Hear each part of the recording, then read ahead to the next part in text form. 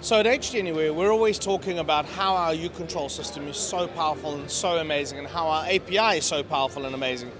But let me show you a little bit of why that is, or more importantly, how that actually plays out.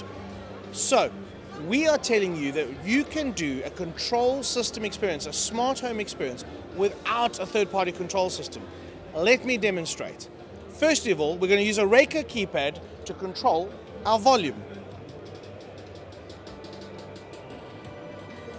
We're doing that without any form of alternate bridge other than just Rako and HD Anywhere. That is real power. Furthermore, we can control your mood. We can do more than just AV integration and control. I'm to use my Apple Watch. I'm going to go to my go to sleep mode. And now we're triggering a Shelly relay to control the blind, the Rako light sequence, all without third party control, just HD Anywhere. This is uControl.